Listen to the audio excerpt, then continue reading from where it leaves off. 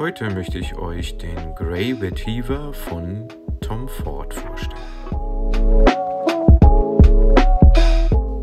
Dieser Duft erschien erstmalig in einer Eau de Toilette Konzentration und ist nun nur noch als Eau de Parfum Version erhältlich. Anders als klassische Vetiver-Düfte trumpft dieser Grey Vetiver nicht durch Bleistiftnoten auf. Im Gegenteil, er wirkt hier sehr zitrisch und erfrischend.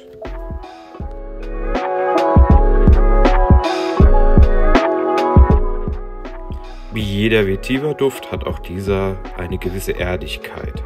Jedoch steht hier eine zitrische Note, die eventuell von Bergamotte oder Grapefruit kommt, im Vordergrund.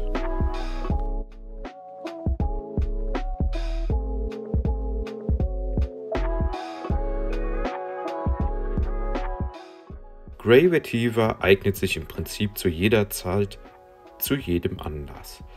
Die beste Zeit, ihn zu tragen, ist meiner Meinung nach jedoch Frühling und früher Sommer.